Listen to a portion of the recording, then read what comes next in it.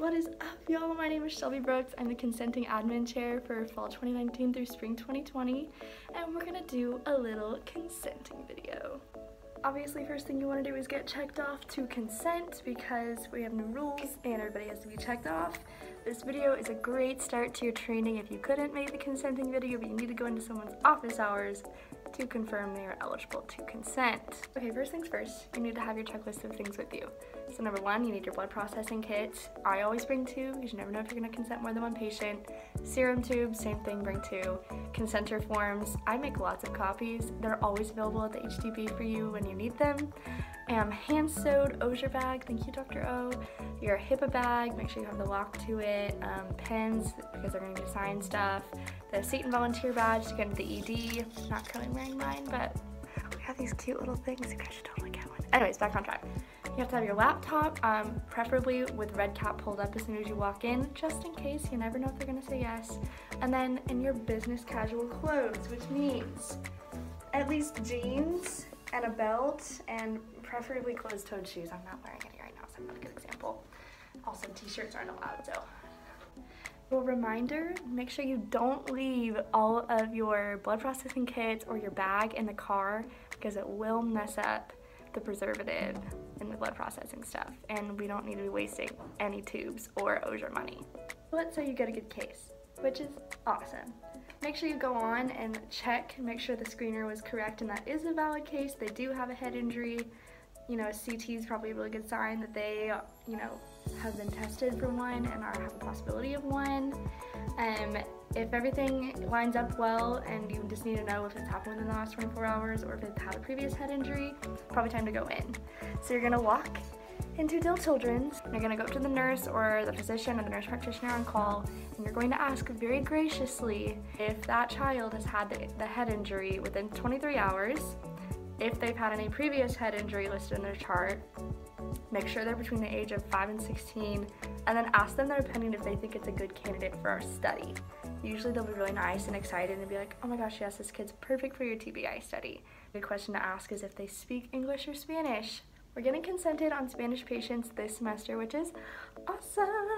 But as of right now, we're not um, able to consent Spanish patients, so stay updated with. All right, let's say the doctor says that it's a great match for your study, which is great.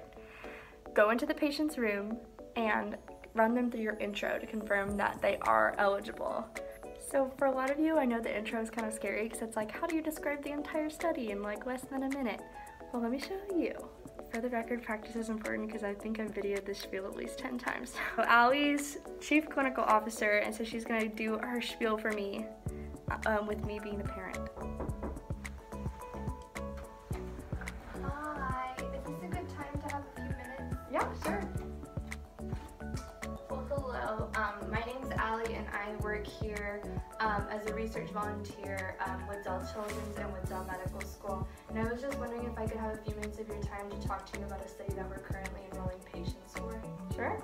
Um, so what we're studying is children who have had head injuries and I've heard that your um, son or daughter um, has had a head injury and may potentially be eligible for our study. Um, it's a it's simply an observational study. Um, we won't do have any invasive procedures or doing anything like that.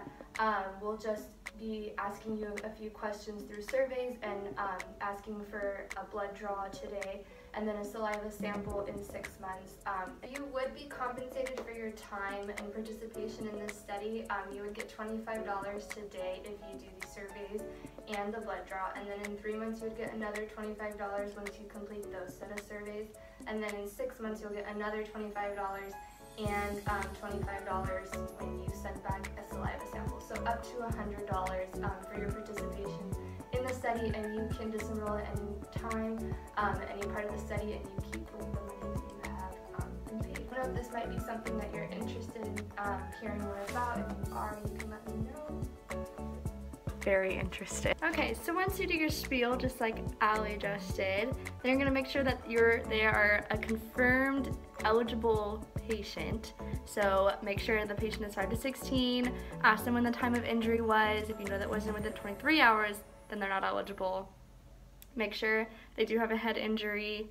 um, and ask them if they've ever had a head injury before. A lot of kids that come in will come in for like soccer game injuries and they've had a previous head injury from a soccer ball, um, something like that. Even and a head injury when they were like a year old still counts. Any conditions you need to ask for, such as seizure disorders, um, any kind of severe impairment like Down syndrome, um, Shaw, uh, any severe debilitating mental health issues, no suicidal ideations, no PTSD, bipolar, unless it has to be really severe. I think mild depression is okay. Is that right? Um, I believe so, and you just want to make sure that they're not on any medications that may um, just interfere with the study. If you're not sure, always blast the Slack and somebody can help you out. Yeah. Um, make sure they're not currently undergoing any chronic condition treatment, such as cancer, diabetes, um, hypertension, any kind of weird conditions. You're like, I don't know. I would blast Slack. Blast Slack. That'd be the. I like that. blast Slack 2019. um, any kind of inflammatory condition, arthritis. I actually have arthritis. I take methotrexate. I would not be eligible for this study. Things like that um, any microcephaly, deafness, um, and as of right now, if they're Spanish speaking, we can't consent them, but by the time this video is posted, I'm hoping that we will. So you might be asking, what happens if they say no? Um, so it seems like your um, son or daughter would be eligible for this study. Um, I don't know if that's something that you're interested in or not. Um, what do you I don't really think so. Um, okay, I, I completely understand and I'd like to thank you for your time. Um, I'm not sure if maybe this just isn't a good time and I can come back in about 10 minutes or if there's a reason why you're not interested. Um, if you'd like to provide that information, it would help us learn a little bit more and help recruit patients for our study. I don't think my child is able to handle a blood draw right now. That's understandable. Um, I'd just like to let you know, just in case mind. Now we are doing the blood draw, um, but if your child does decide to do the blood draw, it'll help children in the future um, possibly not need to do the blood draw and we may just be able to do a saliva sample. But that's not available today, but it may help children in the future have that option. Okay, that can swing me. that swings you? Cool. Yep. Let me get my paperwork. Okay, so right here I have um, the parental consent form and I can either leave this with you or I can walk you through it. Um, it's a lot easier if I walk you through it and make sure that we hit um, the key points on each page, um, but it's totally up to you, whatever you prefer. Walk me through it, sounds great. Okay, so on this first page we have a little bit of an introduction of the study. Um, like I mentioned, what we are studying children who have had head injuries um, and just looking at their recovery and it's a purely observational observational study.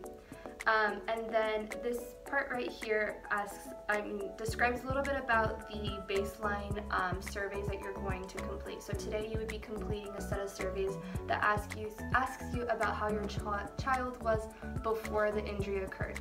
Um, so not after the injury, but before. So we do prefer that you complete this set of surveys before you leave the hospital today. Um, that way it's just fresh in your mind and you can accurately answer those questions. But if you feel um, like you should complete them at home, you, that is completely up to you.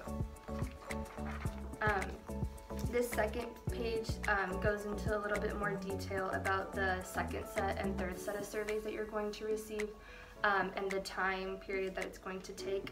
It says here that it's going to take less than 90 minutes, but from my experience, it doesn't take parents more than 20 to 25 minutes.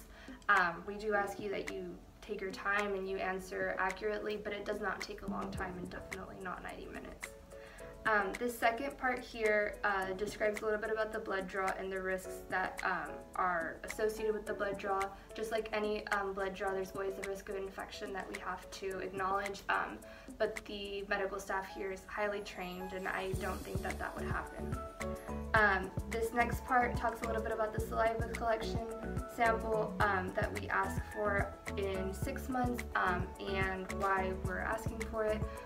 That will be completely de-identified and will, will, not have any information tied to your child. Um, it will be stored in a locked freezer in a locked building with a security guard. Nobody will have access to it. Um, the only person who will is Dr. Osier, the principal investigator, just in case you do decide to disenroll from the study. Um, do you have any questions so far about anything that we've gone over? No, not so far. Okay.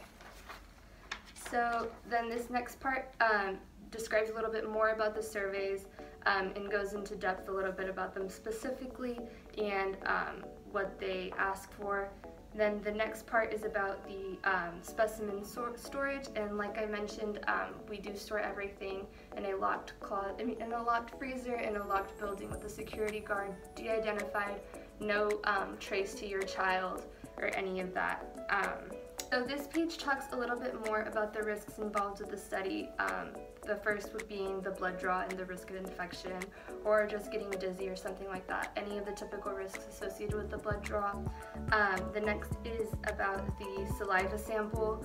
Um, there's always the slight risk that the something would happen to your child's information, but considering all the precautions that we take, um, that is highly unlikely and then also um, some risks about the outcome testing. If anything in the surveys that is provided to us um, indicates any form of abuse or anything like that, we would have to notify um, the proper authorities, but other than that, there's no real risk associated with that. Um, then this part here talks a little bit about the possible benefits of the study. Um, as I mentioned earlier, it's a completely observational study. Um, we won't be intervene intervening in your child's care, um, so in that aspect, your child won't receive any direct benefit other than the compensation um, that you will receive. Um, at this point, do you have any questions so far? No? Okay. Um, this part talks a little bit about what if your child doesn't want to participate. If your child doesn't want to participate, we will not enroll your child in the study. Um, it's very important to us to know that your child is voluntarily participating in the study. Um, it just makes for a better um, relationship between us and the patients. Um, and then this part right here is really important um, for you to fill out. It just asks if you would like to be contacted for future research studies. This does not mean that we're going to be soliciting your information out to people who are um, studying brain injuries. Um, an example where this might apply is say that if our study gets funding past um, the date that we currently have funding for, we may call you back and see if you're still interested in um, participating in the extension to the study. Um, and so you can just mark off yes or no when you fill out this form. And then this part here goes over a little bit about the compensation. Um, you will be compensated for today after you complete the blood draw and the um, surveys. You will be um, sent a um, link to your email to DocuSign um, a form, and then once we receive that back, you will be given a $25 Amazon gift card. The same procedure will happen at three months and six months, and then um, at six months it would be for the surveys, $25, and then once we receive the saliva sample, another $25. Do you have any questions about the compensation or anything else we've gone over so far? Okay. And then, um, as I mentioned before, this part goes over a little bit more about how your child's information will be protected. Um, everything has no, your child's name will not be on any of the samples or on any of the forms. Everything has a, an ID just placed on it, um, and those IDs are completely randomized, and the only person who has access to that information is Dr. Osier. Um, this part here goes over a little bit about who you should contact if you have questions about the study or um, you if you wish to disenroll from the study. If you wish to disenroll from the study, your best point of contact would be Dr. Osier, our PI. Um, as I mentioned earlier, they have access to the information and can then um, get rid of your samples um, appropriately and uh, remove you from the study. If you have any questions about the study, um, specifically or just in general, um, the best points of contact would be Dr. Osier or the IRB board, um, which is listed here, and their contact information is there. So that is about everything that this form goes over. Do you have any questions right off the bat? Nope. Okay, I can leave this with you and you can go over it um, in detail um, if you'd like or if you're comfortable filling it out right now. Um, that's up to you explained it well. I will fill it out. Awesome. Thank you so much. So once you have um, the parental consent, you have to go through the participant assent form. So go through everything with them to make it more um, childlike. It has to be on a third grade reading level. Get understandable yes. for a child. explain what the blood draw is, highlight the fact that you're helping kids down the road. A lot of kids will be more likely to participate in the study if they know that it's going to help someone else just because they are in the hospital and being helped by other people. Make sure they know that they will get compensated. Kids love money. We love money. They like video games. They like video games. Money buys video games. Once you get parental consent and the child's assent, um, go ahead and get out the blood form, which looks like this. You're gonna go and um, make sure and fill out the, all the patient's information on that and then um, go to the doctor. Um, they should be in the emergency department room. There's like a little office in the back and have them sign it. It can also be signed by a nurse practitioner if they're there. Um, and then give this blood form to the nurse and also hand her a blood kit and ask her if she will take the patient's blood. This is usually done best if the patient is currently filling out REDCap. If you need help with REDCap, there's a really awesome like how-to guide. It's linked in the Airtable. It should be in your consenter checklist. Um, it will guide you step by step on what to click. Most people do this on their computer, like I give the patient their computer and let them fill it all out. But while they're filling out, it's best for you to do the blood processing stuff. Also gonna need to get the HIPAA form signed. Um, Allie and I usually just hand them the packet of forms to sign and then once they're done signing all of those then we hand them the REDCap, and then we move on to asking the nurse for the blood draw. Once you have blood processing form, the consent and assent, and then the HIPAA form, you're gonna go make copies. You're gonna make two copies actually of the consent and assent forms, one for the patient parent and then one for the doctor nurse for their files. So that's both for consent and assent forms. And then blood forms and HIPAA forms we only need one copy of. So the original comes to us and that one copy goes to the nurse for their chart. So that does none of those two go to the patient.